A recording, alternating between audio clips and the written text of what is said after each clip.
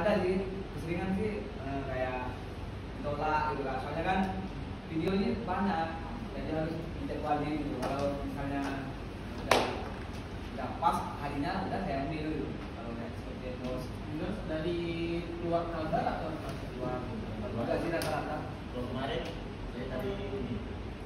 Tempat dari Tanjung Maju. Oh, ini gimana? rata-rata sampai tidak Rata-rata kemarin satu. Kalau itu jago ya. Iya. tapi kalau kak kuliah nggak mau nggak soalnya nggak sih kan Oh, oh, oh, produk skincare. Iya. Oke, abang eh, terakhir nih kesan dan pesan untuk milenial agar bisa jadi konten kreator seperti abang. Apa nih bang?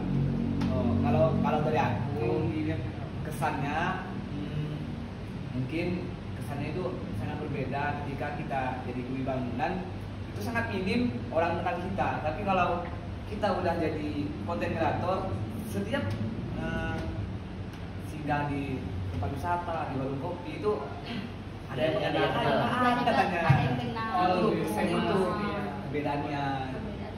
kalau pesannya sih untuk lebih dikenal orang.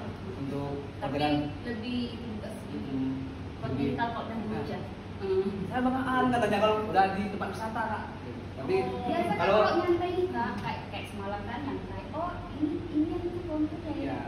Ya, kadang Pak. waktu kita Iya. ketemu di itu kan keluar mereka pas kita posting di komen. Sini dia komen, Oh, ah gitu. aku di kafe ini katanya itu. Oh, sudah dikenal gitu ya. Tapi kalau perbedaannya itu sih kak, kesannya perbedaannya itu udah dikenal orang gitu kan, 10 persen.